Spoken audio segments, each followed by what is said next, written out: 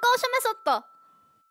参考書の効果的な使い方を紹介する参考書メソッド。こんにちは学びズムの今井です。今回紹介する参考書はこちら。現代文読解基礎ドリルです。この参考書の収録章数は全14章になっていて評論12章小説2章に分かれています。評論は各章4題の演習問題がついているので計48題です。小説に関しては各章5題の演習問題がついているので計10題の演習ができます。ほんで第6章第12章第14章の後には普段の演習問題よりかは少し長めの問題が設定されているのでそれを復習として解くようにしましょう。目標習熟期間は約2ヶ月です。でこれはもちろん他の科目との相談にはなるんやけど基本的なペースは1日1台でもしんどくはない量ですっていうのもこの参考書の例題っていうのは一つ一つがそんなに長くないから1日1台でやっても所要時間30分ぐらいあれば終わるので1日1台でサクサク進めていってくださいこの参考書の特徴は各章が個々の読解法を解説している参考書になるので対比抽象具体とかっていう風なのをミックスにした文章というよりかはもう対比を勉強するなら対比抽象具体を勉強するなら抽象具体っていう風な形で学習を進めていける参考書です多くの読解法の参考書が現代文ってこういう風に読むねんでっていう風なより抽象的なことを教える参考書が多いんやけどこの参考書に限って言えば具体的な文章を用いながら抽象具体やったらこんなことを意識してね対比やったらこういう風なところに目をつけてねっていう風な解説になってます。なので抽象的な理論書がちょっと読んでもあんまりよくイメージ湧かないなっていう人はぜひこの現代文の読解基礎ドリルを使ってみてほしいです。ただ抽象的な読解法を述べていないわけではなくて各章の最初の冒頭部分に関してはその章で意識すべき読解方法の解説が簡単にではあれなされているので絶対に各章の問題を解く前に各章の冒頭の部分を読んでポイントを押さえるようにしておいてください。この参考書の特筆すべきはもちろん読解法の解説も詳しいんやけど何よりその読解法を使ってじゃあ具体的に設問を解くにはどうしたらいいのかという読解法の設問アプローチっていうところの解説がより細かい参考書になってます。図解とかもあるし一つ一つの選択肢が何で違うんかっていうところの解説もされてるから自分で勉強していくにはめちゃくちゃ使いやすい参考書です。ほんで各演習問題の下にはチェックっていう風な欄があって問題文や設問に登場する語句であったり漢字の解説もされてます。なので読解系の読み方の勉強だけじゃなくてそういう知識面の整理もできる優れものです。何より演習問題の数がとても多いから対比一つとっても何章かに分かれてどんどん文章が難しくなっていくような構成になってるから全部解かずに自分があ対比だけ苦手やなと思ったら対比だけ解いてくれたらいいし論と例抽象具体っていうのを拾いにくいなと思ったらそこだけ演習できる優れものです。この参考書の使い方としてはまだまだこのレベルの参考書をする受験生っていうのは現代文を感覚で読んでしまう癖がどうしてもまだついてるから必ず各章の演習問題を解く前に冒頭のポイント解説っていうのを読んで図解もされてるから分かりやすくなってるからそこの部分をきっちり読んで何を意識して今からこの章の練習問題を解くべきなんかっていうのを意識できるようにしましょう。まだまだ入門のレベルの参考書やから問題解く時に時間とかを測る必要はないよ。ただ一つだけ意識しておいてほしいことがあって設問を解く時に正解の選択肢みんな選びに行くと思うねやんか。